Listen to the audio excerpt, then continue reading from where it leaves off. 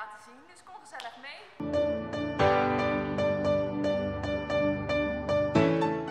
Bij ons op de afdeling werken we erg nauw samen met de, met de artsen tijdens de visite.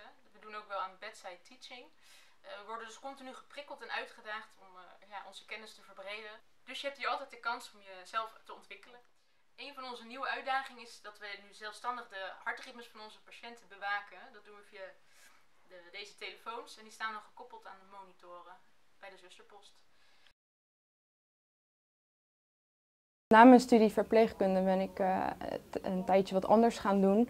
Uh, maar ik merkte al snel dat ik eigenlijk wel weer heel graag terug de zorg in wilde. Voor mij was het wel van belang om dan wel op een afdeling terecht te komen waar ze veel leermogelijkheden uh, aanboden. Mm -hmm. En zo ben ik eigenlijk ook op deze afdeling terechtgekomen.